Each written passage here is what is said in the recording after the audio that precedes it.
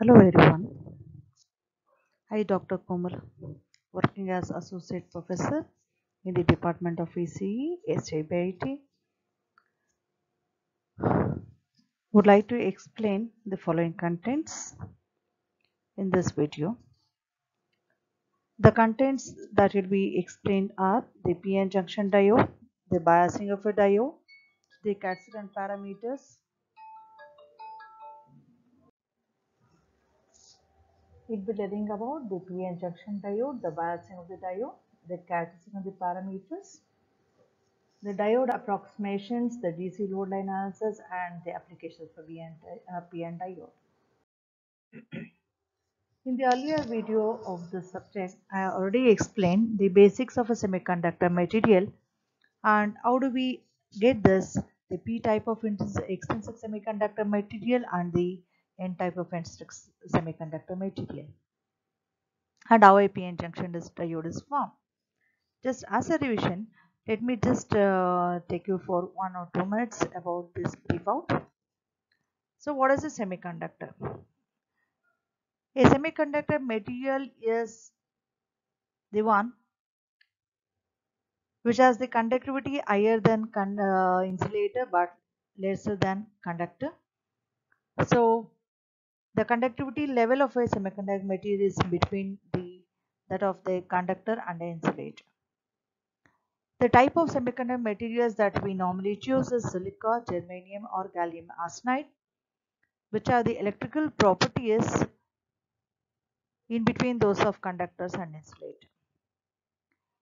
The semiconductors are not too good conductors of elect uh, electricity or as they are not too good insulators name it has been named as semiconductor. So coming with a PN junction diode. A PN junction diode is a semiconductor material where the combination of a P material and the N material will form a junction and when they are fused together it results in a PN junction diode. A PN junction diode is finally formed when a N type of material is fused with a P type of material which creates a semiconductor diode. The two terminals of a PN diode are the anode and the cathode terminal. So diode is always a two terminal device.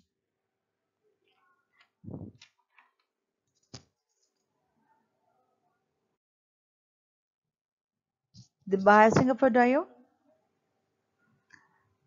The uh, diode can be forward biased or reverse biased.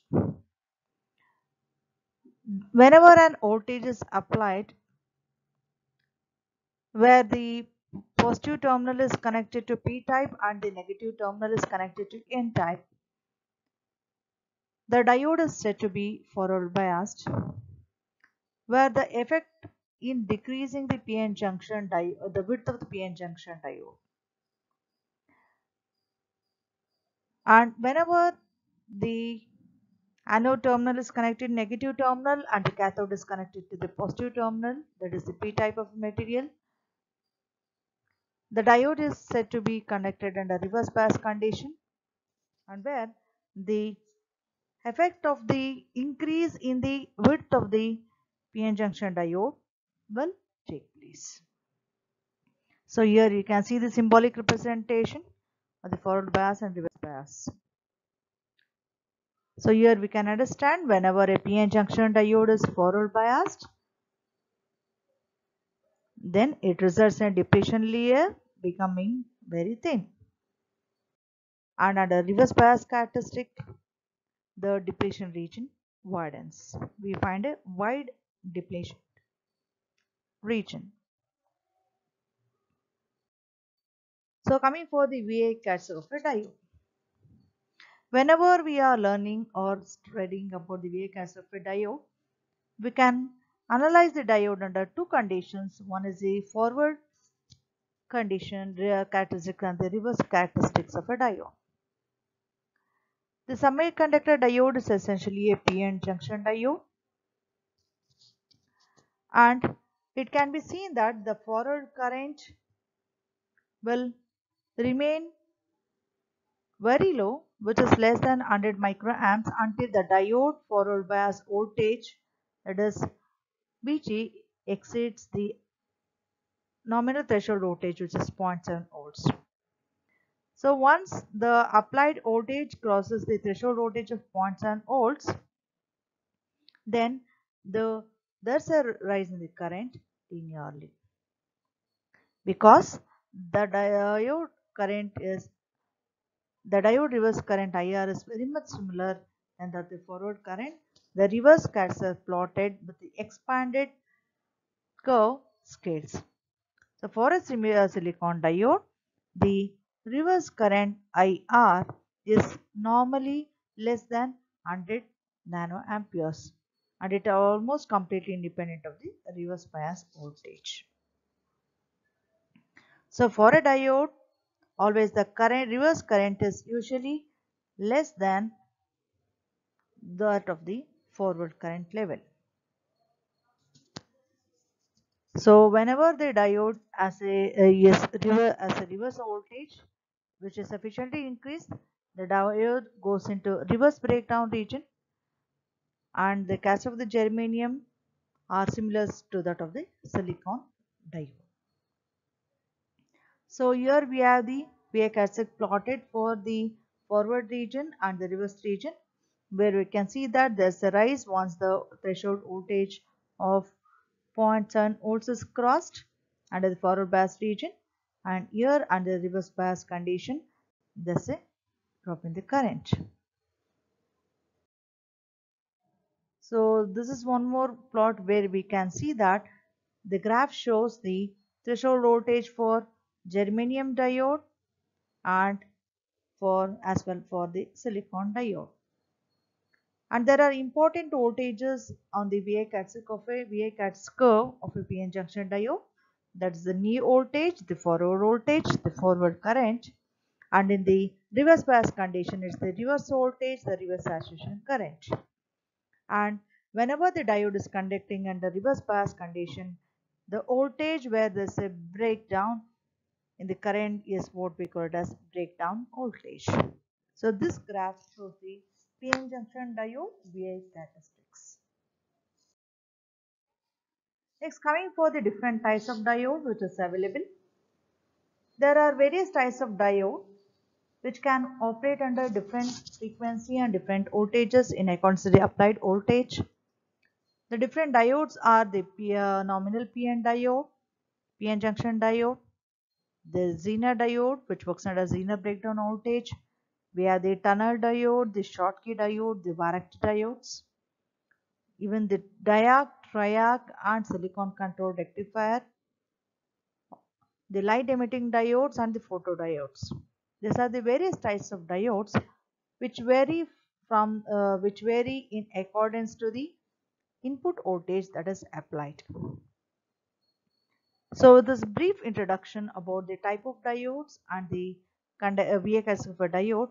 Let's move on to for the next topic that is how does a diode look or as what is the size and appearance of a diode depending upon the current.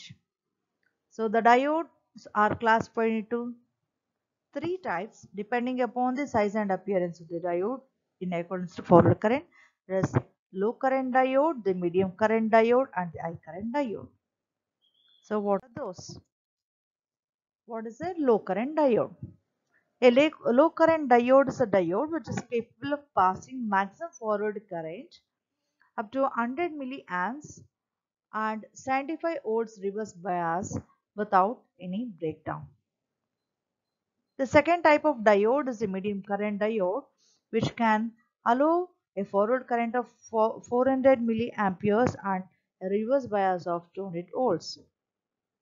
Whereas the third type is a uh, current diode or a power diode which can pass forward currents of many amperes and they can even survive for several hundred volts of reverse bias. And this voltages are this uh, diodes are used as per the application whichever is required. Next comes the importance diode parameters. There are five important diode parameters that is the forward voltage drop, the reverse saturation current, the reverse breakdown voltage, the dynamic resistance and the maximum forward current. So, what is these are the important parameters on which a diode can be analyzed.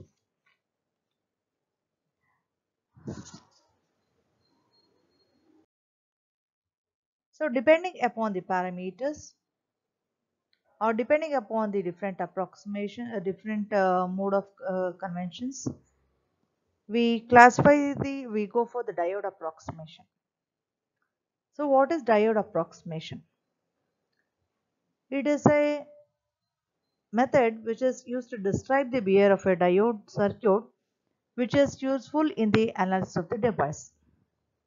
There are three different diode approximation methods. They are ideal diode, practical diode and piecewise linear characteristics. These are the three different ways how the diode approximations can be done. So starting the first one which is called as the first approximation or the ideal diode approximation. So under the ideal diode, a diode is essentially a one-way device which offers a low resistance when forward biased and high resistance when the bias is when the diode is reverse biased. So an ideal diode will have zero forward resistance and zero forward voltage drop whenever it is treated to be ideal. It would also have an uh, infinite high reverse resistance which would result in zero reverse current. So the diagram here shows the forward uh, the characteristics of an ideal diode where whenever a voltage is applied to the diode it results in the resulting current.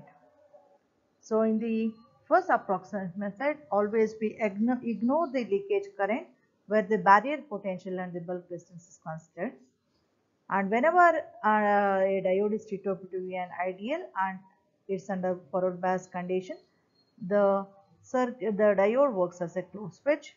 Whereas when the diode is reverse bias condition, the third model or the circuit works as the open switch. The second type of the second approximation is applicable to a practical diode.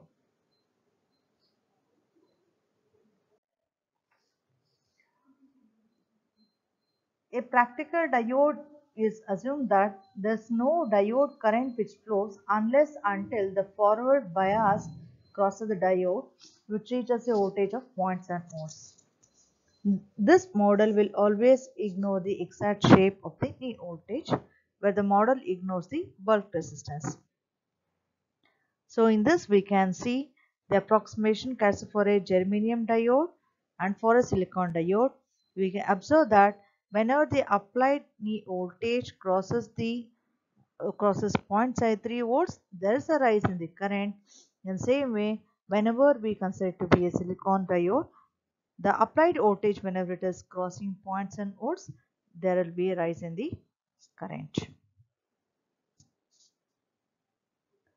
The third approximation is the piecewise linear approximation.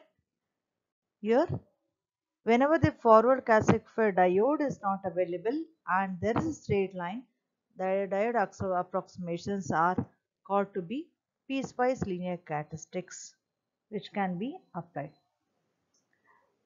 So, to construct a piecewise linear characteristics, what we do is we first mark the forward voltage on the horizontal x-axis and then start at the forward voltage, a straight line is drawn with a slope equal to the diode with dynamic resistance.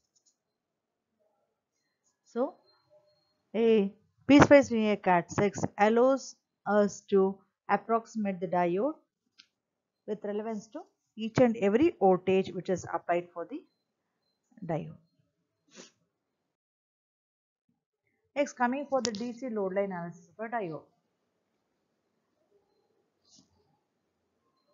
Whenever we consider the piecewise linear characteristics and when the precise levels of the diode current and voltages must be calculated, we make use of a model which is a graphical model or a graphical analysis termed as DC load line analysis. The DC load line analysis helps us to get the exact figures of the diode current and voltages in accordance to the applied voltage. So whenever we want the precise levels of the diode current and the voltage, we can calculate it by the method of graphical analysis called as the DC load line analysis. Here we have taken an example of a circuit where a diode is connected and the applied voltage is 5 volts with a resistor value of 100 ohms. So whenever a voltage of 5 volts is applied to the circuit, there is a forward current which is flowing in circuit under the diode is forward bias condition. And here there is a current which is there is a voltage drop which occurs across resistor. And taking this into consideration we plot the DC load line where we can get the exact values of the uh, output current in accordance with the input voltage applied. This gives a diode characteristic through DC load line.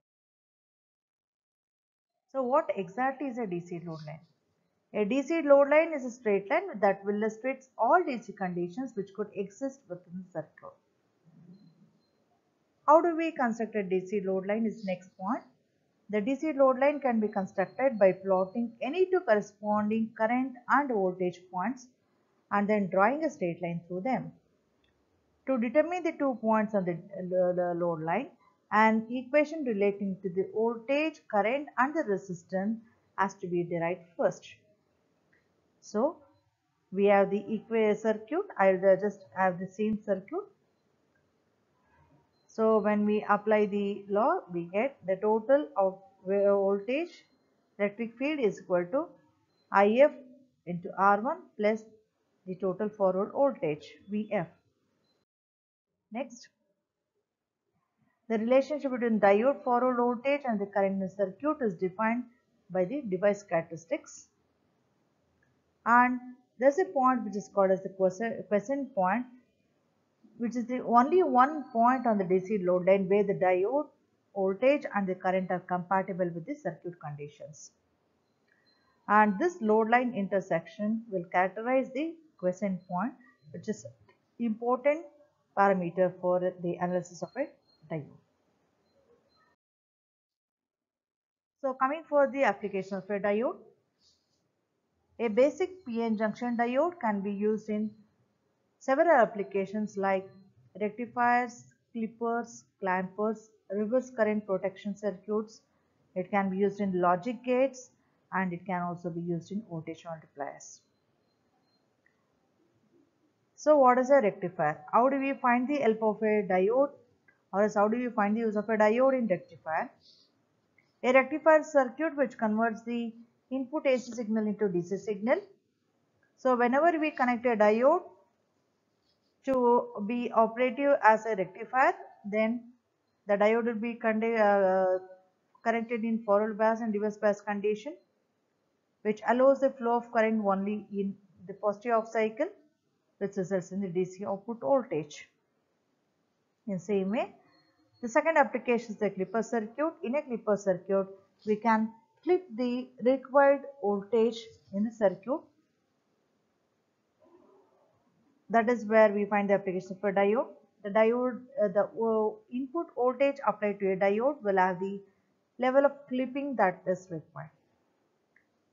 The clamper circuits are the one, the clamping circuits are the one where the voltage uh, levels can be shifted to the higher voltage, the positive voltage or the negative voltage. So the shifting of the voltages is uh, obtained by means of the clamping circuits. The reverse current protection circuits are the one where these circuits can be connected using the diode to be connected in reverse bias condition whenever there is a I reverse current which is flowing in the circuit, the protect, circuits is protected due to the result of reverse current.